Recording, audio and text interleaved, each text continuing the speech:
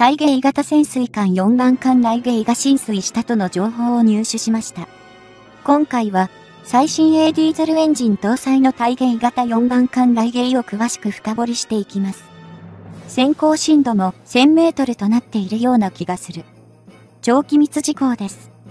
無人潜水艦も防衛装備庁で完成し、テスト段階へとステージが進んでいます。日本の潜水艦技術は世界最強へと変化していますね。原子力潜水艦よりも上でしょうね。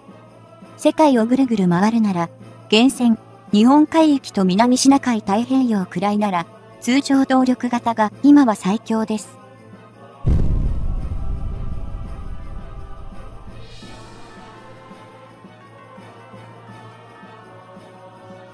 今月17日、海上自衛隊の最新鋭潜水艦の命名、浸水式が行われました。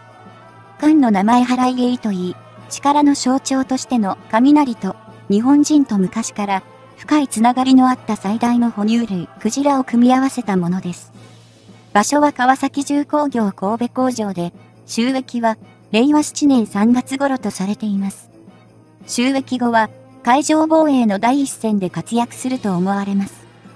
製造した川崎重工によれば、このライゲイ波昨年3月に収益した大ゲイ型潜水艦4番艦で、基準排水量約3000トン、全長84メートル、水中速度約20ノット、乗員は約70人ということです。納税者として一番気になる建造費は約700億円とか。期間にリチウムイオン電池を採用し、高い先行性能も備えている潜水艦なのです。式典には、防衛大臣政務官や海上幕僚長を含め、川崎重工関係者ら約1400人もが参加したそうです。ロープが切られ、来芸が仙台から水上に勢いよく滑り出すと、見ていた人々の間から大きな拍手が湧き起こりました。来芸の装備ですが、魚雷発射装置や潜望鏡などが設置されています。川崎重工社製の新型エンジンが初めて搭載されたので、発電などに使用するリチウムイオン電池の充電時間を短縮できることになりました。また、高性能ソナーのおかげで捜索能力が上がり、敵に探知されにくいステルス性能も向上したそうです。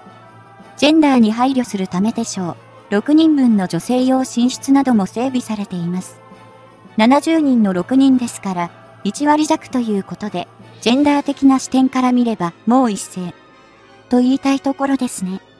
大芸型の先輩である、総流型はディーゼル潜水艦で、振動も少なく、生殖性にも優れた世界有数の高性能潜水艦として知られてきました。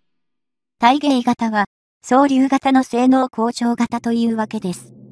総流型に比べて、探知性能や非探知防止性能が向上し、新型戦闘管理システムを採用したことで、より高度な情報処理能力が備わったことも特徴の一つと言えましょう。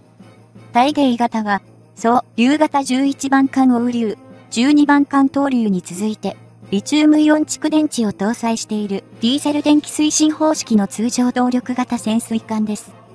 パソコンや電卓などによく使われているリチウムイオン蓄電池は、従来の鉛電池の2倍以上のエネルギー密度を持っているので、水中航続力を向上させてくれます。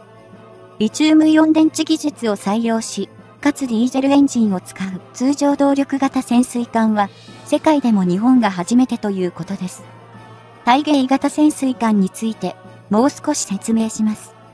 1番艦から3番艦までは、主要機関として、12V、25、25SB 型ディーゼル機関2機を採用してきましたが、4番艦来芸以降大型化したエンジンと関連装置を有する高出力の新型 12V、25、31型ディーゼル機関を初めて採用することになったのです。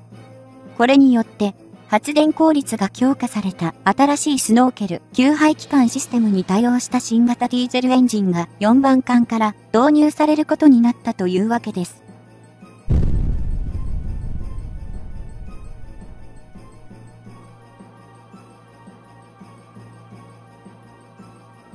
17日に浸水した海自潜水艦対芸型4番艦外芸波。そう、竜型と同時用に X 字型の艦尾舵を持ち、水中運動性に優れていて、海の底に基礎しても、火事の損傷が少ないというメリットがあるそうです。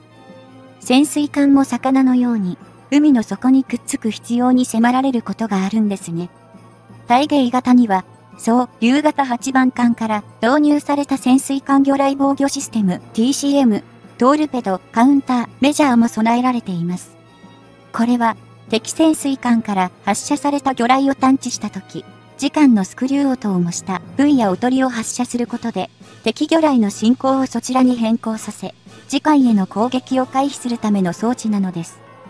大芸型には、兵装としては、地球式魚雷の後継である新型18式魚雷が装備されています。また、533mm 魚雷発射管6門が艦首先端上部に搭載されていて、この魚雷発射管から海上のターゲットに向けて水中から発射する追艦ミサイル UGM-84 リッターハープーンブロックにも艦に搭載できるのです。ハープーンミサイルといえば、ロシアに侵攻されたウクライナが供与されたミサイルですね。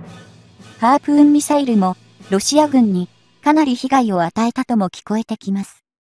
国際軍事情報グループが推測したところでは、この UGM-84 リッターハープーンブロックにミサイルの射程は 248km とされ、接近すれば地上への攻撃も可能ということです。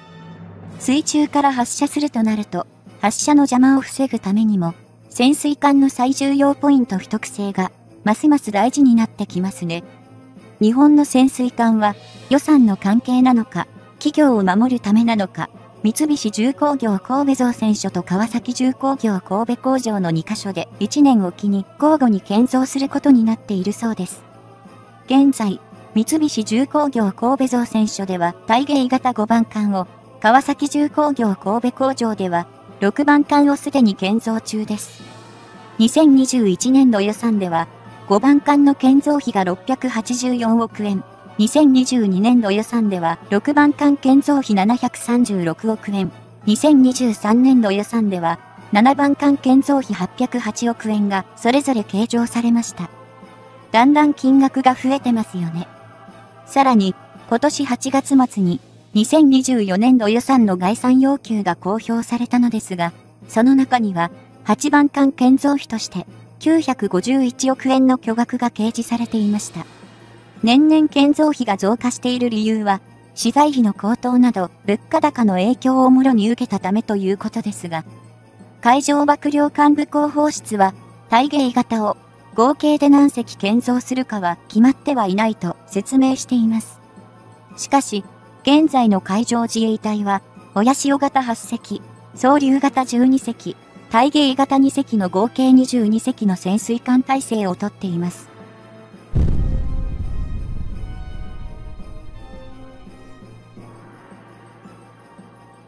もっとも、旧型である、親潮型8隻は順次退役していくわけですから、これからは、それを保管するために、年1隻のペースで建造していくと考えられます。ここである、個人的な意見を紹介してみますね。何というか、来芸って原子力を使えない状況下で最適解を求め続けた日本の潜水艦建造技術の最新作なんですね。西側各国は源泉建造に制約がないので、何隻でも好きなだけ作ることができるそのエネルギーを使うことで、本来なら改善しなければならないはずのマイナス面を全部強引に隠しているようなもんですね。良い例が、体液源泉の原子炉の始末ですね。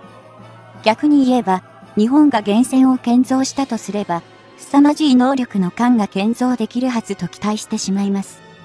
でも、耐用年数が切れた原子炉を始末しなければならないというのは、日本も例外ではありませんから、まずは、その対応策をちゃんと考えてほしいものですね。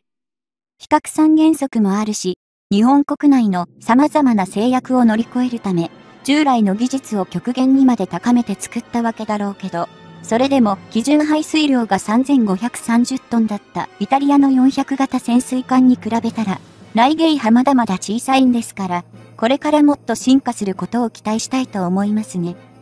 潜水艦の運用に関しては、ディーゼル電気推進方式は原子力潜水艦より優れていることは言うまでもありません。一度動かしてしまったら、原子炉を停止できない源泉は常に音を発しているという致命的欠点があります。その音は、敵にとっては、一探知の格好の証拠というわけです。ところが、内芸破棄管にリチウム電池を搭載し、先行していますから音は静かです。つまり、敵のソナーなどに探知されにくいのです。最近凄まじく向上している探知能力は、館内でペンを落としただけで察知してしまうほどと言われています。恐ろしいスペックですよね。そう考えると、通常型でありながら、雷ゲイのスペックは圧倒的と言ってもいいのではないでしょうか。